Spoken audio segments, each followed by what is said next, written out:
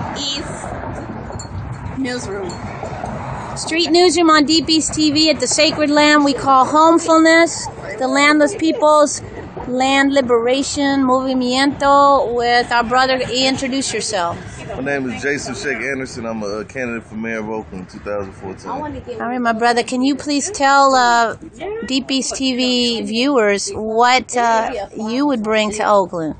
First, I would bring an actual the relationship between the city and the community, and actually, you know, have more programs and more more things out in Deep East Oakland like this right here. Support programs that actually are doing the grassroots work with little to no resources. When there's plenty of resources in City Hall to support actions like this. I mean, I actually, um, you know, I, I'm very aware of some of the programs that go on in City Hall. I've been doing a lot of research, part of my uh, bid for mayor to learn more about the inner workings of the city, and I see that the resources are allocated properly. And what that means is that there are money, there's money available for programs that actually directly help the community, but those resources aren't getting the community due to bureaucracy.